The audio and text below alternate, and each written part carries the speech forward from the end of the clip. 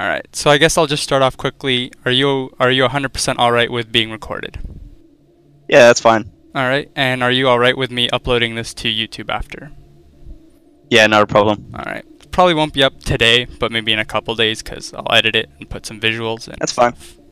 All right. So I guess we'll start off with the first question. So there has been a little bit of debate, not much, but there are some people that are curious as to whether or not your real name is Zac Waters or if that's just an alias of yours and maybe your name is something else. No, my name is actually Zac Waters. Um, Zachary with an I as well, which is quite strange. I think my parents were going through a little sort of biblical phase and wanted to name me after someone in the Bible, and they looked at Zachariah and went, "Oh no, that's probably a bit too classic." So they went with Zachary with an I, which is quite left of center for them. Got to keep it creative. Yeah, got to keep it creative. It all starts from the it all starts from the get go. All right. So the next question I have for you: How long have you been producing for? And I guess you could go into years or months or whatever. Um, I've been producing since early 2011. Um, and so that, what that that makes that like seven years now. So yeah, it's been a it's been a long time, and I remember like being on my computer and like a friend of mine put Ableton on my computer. He had a spare code or something, and um, I was like, this is actual witchcraft. Like I don't understand any of this, and I didn't know what a VST was until like 2012, 2013. I didn't know that you could like, get sample packs. So for so long, I was trying to make music off like just the Ableton stock plugins and stock like yeah the stock sounds. So it wasn't. Uh, I was I shot myself in the foot. So it was like a revolution for But- you once you discovered those. Oh, finding finding VSTs and sample packs was like yeah finding the holy grail. It was the best thing ever. So speaking of DAWs and VSTs, what's the main programs you use and any main plugins that you use for your production? Um, I'm a big fan of Ableton, and I feel like that um, interface really uh, makes a lot of sense to me. Anyway, um, there's a lot of guys out there that use FL and have no problems with it, but for me, it just doesn't really make too much logical sense. Uh, I like being able to see all of my stuff, and I like all of the channels uh, correlating to that specific sound rather than like a separate window being linked to that. Um, and I guess like VST wise, I don't really go too far out of like the Serum Sylenth uh, like little bubble, but Spire sometimes I like to use that for my sub sounds.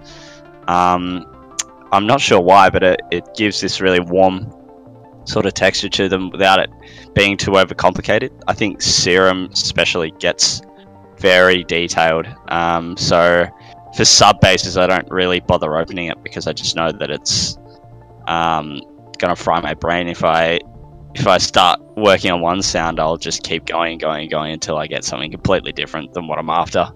um, and I think I use a lot of um, T-RackS stereo limiter. Uh, I pretty much put that on my master every time. It's a quick tip for anyone out there, just to get a really solid sort of limiter is uh, T-RackS. Yeah, I'd, I'd highly recommend that. All right. So I've got two questions for you when it comes to your SoundCloud. The first being that um, when I looked back, I saw you used to make a lot of like electro and psytrance, and then eventually you moved on to your techno and um, house-ish tracks. Will we see a return of those genres? Um, I haven't really planned a return of doing psytrance or anything like that. I think that I I don't feel there's any more creative space to be made wi- within that genre. Anyway, I think that there's so many really good producers doing it at the moment that I I can't necessarily contribute to that scene in a like a pioneering perspective. Like I I always look at a track and go, am I challenging myself and am I challenging others to to sort of one up it? And I think that in Psytrance I can't do that because there's so many good guys doing it. Um, so yeah, I, I don't know. Maybe one day I'll come and revisit it. Um, but yeah, for the for the time being, that electro stuff and that psytrance stuff will probably take a miss. Sounds good. And then my second question was you said you started producing in 2011, but your oldest track is only four years old. So did you used to go under another alias or did you just never upload those tracks before?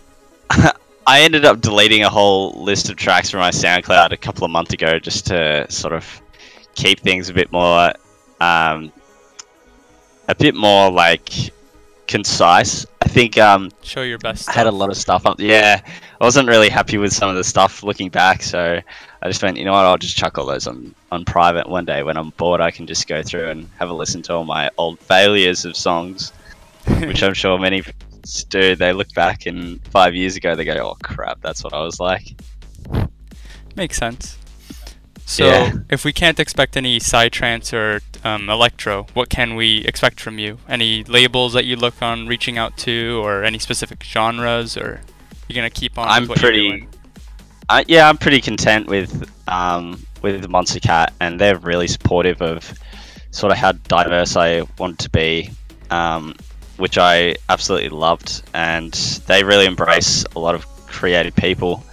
So it's a really nice sort of family to be a part of. So label wise, I'm I don't think I'm going anywhere. Um, but if there's if there's one thing that I probably will do, it's um, sort of consolidate my sound into a lot more darker stuff. I think that dark stuff really comes naturally to me, and uh, I think while Monstercat can harbour a lot of those songs, there'll be a couple of um, sort of songs that wouldn't fit their sort of criteria or their their catalog. So maybe I'll shop around for another label for those ones. But um, yeah, for the time being, anything dark, and if it's hard enough and uncaged enough, then I think I'll just send it off to Monstercat. So, should we expect anything on Instinct or nah? Um, not under this project anyway. Ooh. I'll just say that. Yeah, I'll say that. Alrighty. So aside from the whole Zac Waters name debate, there's also a lot of people that ask about you and Bad Computer and how you guys are friends. Yeah. So, Um, oh, I was Well, ask we number one. sorta- oh, yeah. sorry. Go ahead. uh, well, we sort of we haven't actually met before. We just pretty much talk to each other every day because he's like he's an Aussie as well, and uh, we share same taste in humor. So I think we've got a lot to sort of relate to. And back when I was making music when I was 19, which is exactly his age now, I was sort of in the same position as what he is, like coming up. So I can really um, sort of relate to what what he's going through, and I think that really helps us connect as friends. And then the other main question: Can we expect a collab ever? Yeah, you can. It's coming, but very slowly. Oh. It'll, yeah, you heard it here first. Well, not really first, but you, you definitely heard it here. Really exciting. And then my last question for you: What would you say is the best part of being a producer?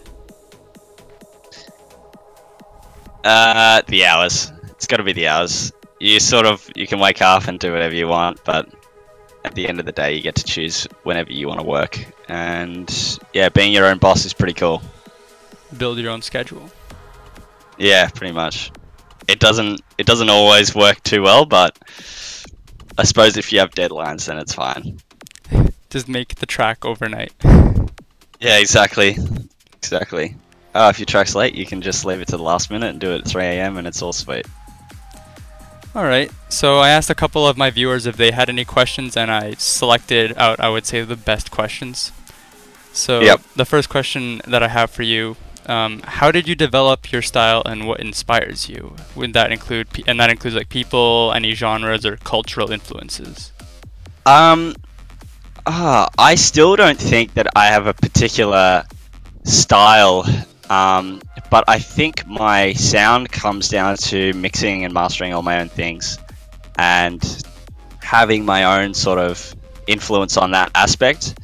Um, there's there's a lot of sort of sounds and drums that I would usually stick to if I was choosing samples and all that sort of thing, and I think that that taste also has an influence on on the sound, but I wouldn't I wouldn't say that I have a particular style all throughout my songs. Um, if you listen to like a bad computer track, you can tell straight away that it's a bad computer song, just from how everything's processed and everything's mastered and it's also precise and that you can definitely tell that it's him but I, I think that my style is a lot more relaxed and i don't really pay too much attention to um, that aspect um, but my my main influences definitely come from uh, guys like Gesaffelstein, uh, Drezzo, uh, REZZ, and just basically anybody who's pushing the pushing the boundaries to dance music and electronic music in general. Um, but yeah, a lot of a lot of sort of dark influence as well, like Pink Floyd um, for psychedelic aspect. So I don't know if anybody out there knows who they are. They're Probably a pretty big people. band. Probably a couple of people. Um, yeah, they they really experimented a lot with delay and reverb, and I put a lot of that in my songs. So I think I can credit them to that sort of aspect of it. And um, yeah, that pretty much concludes my list of heroes out there that really helped me sort of find my style. Plan on meeting them one day? I would love to meet Salstein. He's like he's like a ghost. I swear he doesn't exist anymore. He's just like making movies and stuff. I don't know what he's doing, but I would I would love to meet that guy. All right. So next one. What's your favorite Pokemon? Favorite Pokemon. I I saw this question before and I really had to have a hard think because I never really watched Pokemon. Like I did because a lot of my friends had like Nintendos and played Pokemon all the time. Um, but I would have to say Gastly just because he probably looks the best. This one kept you up at night, didn't it? Yeah, it did. It actually did. I was like, damn, which one am I going to choose? It's like, do I choose like all the originals or do I choose like the recent ones? Like, what's going on? But yeah, I, I thought I'd just settle on. It's easier to settle just stick with the originals. Those like. ones are like Yeah. the safe ones. Yeah, exactly. So- Exactly. Next question. Where do you see you and your production leading you, whether it be in the near future or in the far future? Um. Well, near future is about development for me. I think I really want to develop and hone in my style um, to something a bit more brandable, a bit more concise, um, something that makes more contextual sense in the whole catalog rather than it just being like a lot of different varying songs, um, which is cool, but I don't think um, many people can sort of relate to that. I guess not the majority anyway. So I think from a business perspective, doing that um, makes a lot more sense. And also, long term, I would love to eventually get over to North America and Europe.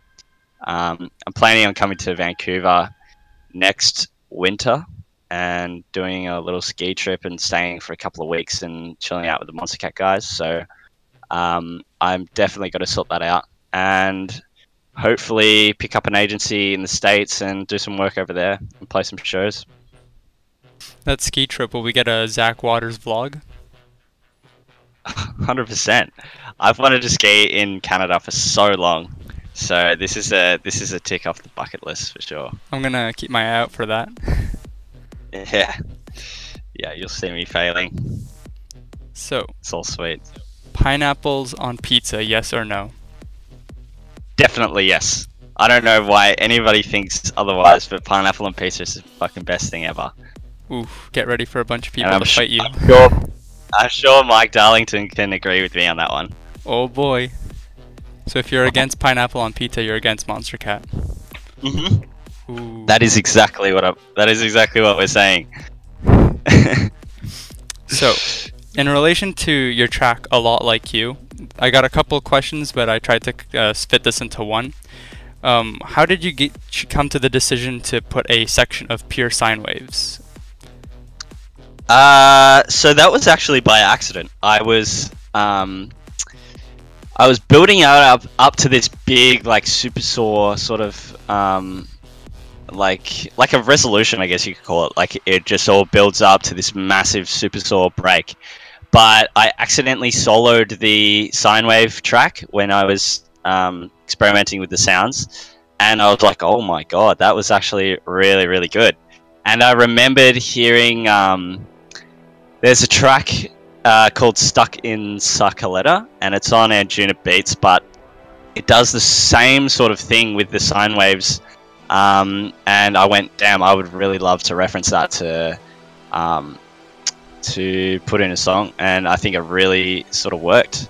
I'm I'm yeah pretty happy with how it went. It's really cool. And then the second question in relation to the tr- uh, track a lot like you was how did you go about making such a such a thick and full sub bass and bass? So the sub bass I use Serum. I mean I'm Spire. Why do they all sound like? Why do they all start with S? Um, so there was Spire, and then uh, that was so that was the sub underneath the kick, and the kick I just got from some sample pack somewhere. Um, but yeah, the sub bass was just a sign from um, Spire that I used a bit of sort of distortion and harmonics to actually bring out the mid range so that you can hear it a little bit. I mean, on a on a laptop or on sort of bad headphones or something like that, it's a little harder to hear. So I added the second bass, which is from Serum, which is the growlier one, Mm-hmm. and that just adds uh, like a not a human element, but something a bit more audible for um, the palette. So it's not as it's not as subby and it's not as sort of boring, I guess you could say. So that sort of develops from the start of that drop to the end of it, and it gets sort of growlier and growlier, and lets the rest of the track progress. All right. Back to the funny question, what's your favorite shampoo and do you have a certain scent that helps you produce certain genres? Um, huh, favorite shampoo. Can't go past a bit of Pantene, I reckon. Uh, I don't, I don't necessarily have a scent, but if I could make a suggestion to all the producers out there, try producing with incense in your room because it smells amazing and it really helps you relax when you're making music. Good tip. Do you think storytelling is becoming more prominent in production? I guess whether that be in a single track or maybe in EPs and LPs when people have like a sort of theme to go about. Uh, I would like to say yes, but I honestly think that um, I see more and more people sort of, or more and more producers really trying to make music for the masses, and I think for the most part, uh, a lot of people don't necessarily mind about the sort of story behind it, and it's more so for the hardcore followers that really like to dig. Um, I mean, if you look at uh, Bad Computers new stuff, there's there's a story to every song. There's there's little codes in his artwork that suggest um, next songs and like other different little aspects, and he's actually writing a story to his to match the music, which I think is a lot more interesting and it provides more context to what people are actually listening to. And I would love to see more and more artists go down that route like they used to do. Like um, old rock albums and stuff all used to have context. So we're never really like, okay, how many sheep can we get to buy this? It was more so like, okay, how are we going to tell our story in, in the medium of music? So I would really like to see that come back, but I'm sort of skeptical on how that will come back. I think if I'm not mistaken, in Bad Computers album uh, arts, the code is in Python. That's what I've heard. Yeah, it is. Yep.